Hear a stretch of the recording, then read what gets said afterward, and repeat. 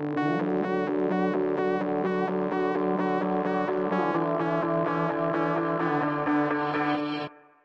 to Empire Beauty School, Matthews, North Carolina, where we are hosting our Celebrating Moms open house event. Come on in and join festivities